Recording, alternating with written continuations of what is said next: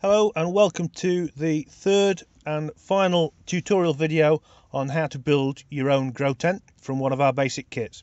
This is brought to you by the Chesterfield Hydroponic Centre in Chesterfield in Derbyshire. So, final thing, you've built your grow tent, you've put your extract ducting in, the next thing is to install your actual grow lights. Now as you can see here, we're using a basic reflector, a Growlux bulb, a timer, and the ballast to operate your lamps. We've also got the light hanging brackets which will are fully adjustable and will help you suspend your light at various heights to aid in the various growth cycles of the plant.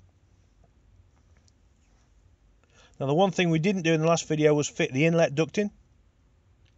So all we're going to do is drop a flexible inlet duct through the inlet hole at the back of the tent this has then got a adjustable collar that fits around it, neatens it up, tidies it up and makes sure everything's secure. That can then be piped in and away you go. So the clean air comes in the bottom, the dirty air goes through the carbon filter at the top.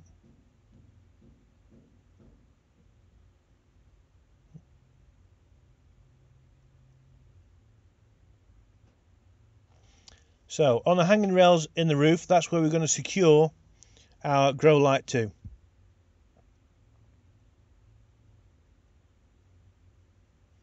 So using the adjustable hangers, these will simply loop up and over the framework, put it over both the cross members on each side of the framework so that you've got uh, the X and Y planes, so that you've got a double rail to hang it to. That just makes it a little bit more stable and a little bit more secure. Now these brackets are fully adjustable, so once they're clipped onto your light unit, you can move them up and down and, it, and you can adjust the light accordingly to the various grow heights of the plants and the crops that you're growing.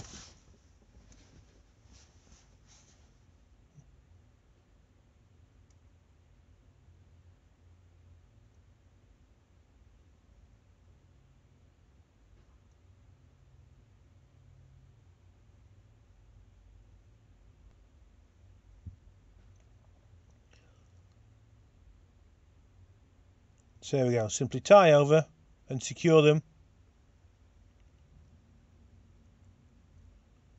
Adjust them to the right height or a comfortable height for fitting your lamp and your reflector.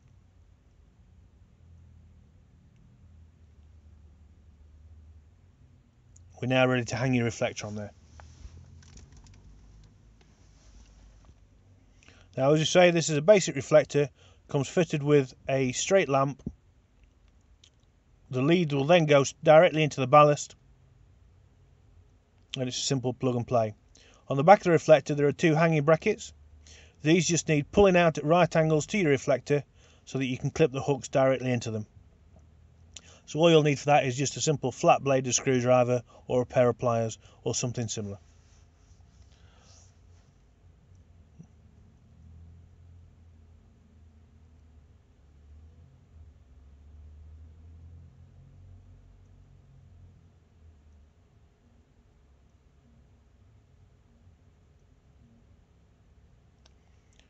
So as you can see, drop your screwdriver in, fold them up.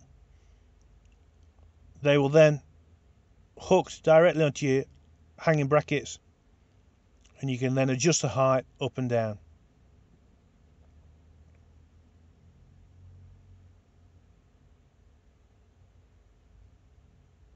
The cable for your light will then just go straight through your flex outlet and as you can see from this one, John's made the foolish mistake of putting the light the wrong way around so that the flex is at the opposite end to the flex outlet on this particular tent.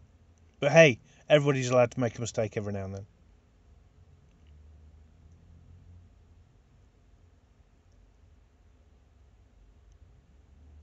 He was hoping we'd edit that bit out, but we chose not to.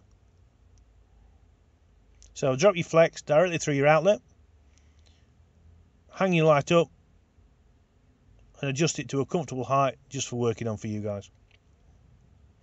So once the flex has gone through that, again, it's a simple pull tight collar on there just to stop any uh, odors or unclean air going out through that hole.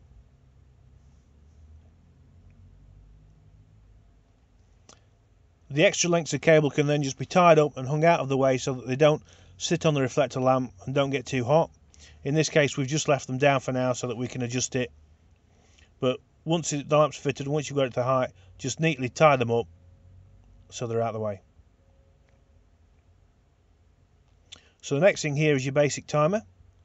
Now there are different types of um, timer plugs and you need to make sure that the one you've got will fit and will suit the type of lighting because some of the timers out on the market, especially the cheaper ones, don't like this form of lighting and may possibly burn out. So please speak to an expert or give us a call um, and we'll guide you through the process and let you know which particular timer plugs are suitable for your ballast system. So that's it. Your light plugs into your ballast, your ballast plugs into your timer, timer straight into the mains.